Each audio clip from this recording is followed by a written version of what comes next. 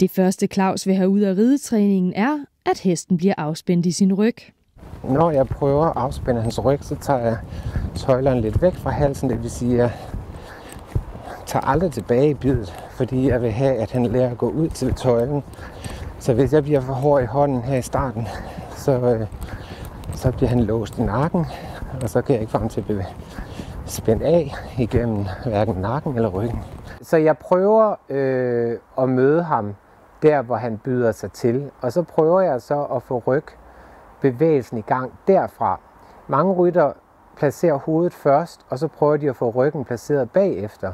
Men det er altså virkelig spild af tid, fordi det tager dobbelt eller meget længere tid.